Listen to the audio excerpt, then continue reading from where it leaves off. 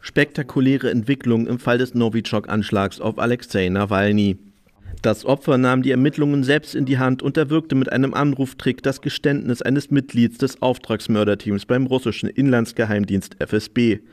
Nawalny gab sich bei einem Telefonat als Maxim Ustinov aus, einem hochrangigen FSB-Offizier. Er solle einen Bericht für einen Geheimdienstchef über die gescheiterte Ermordung schreiben. Nawalny wurde am 20. August auf dem Flug von Tomsk vergiftet.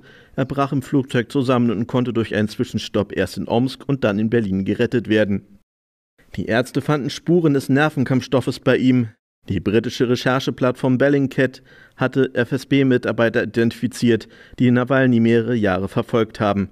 Die Person am Telefon sollte fünf Tage nach dem Giftanschlag nach Omsk reisen und die Novichok-Spuren bei Nawalnys Kleidung beseitigen.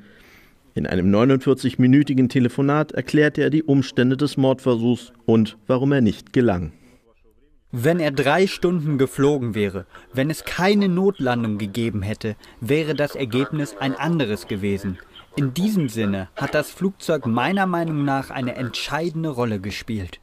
Nawalny habe auch überlebt, weil der Krankenwagen sofort erschienen sei.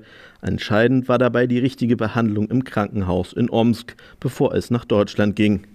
Sie senkten den Säuregehalt, injizierten eine Art Gegenmittel. Sie handelten direkt nach ihren Anweisungen, die Mediziner.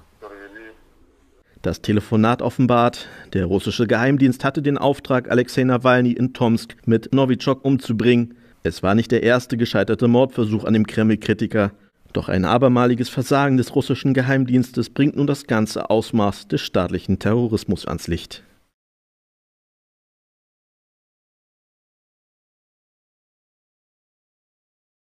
Mehr Nachrichten und Breaking News nur bei Bild. Schau dir hier das nächste Video an und vergiss nicht zu abonnieren.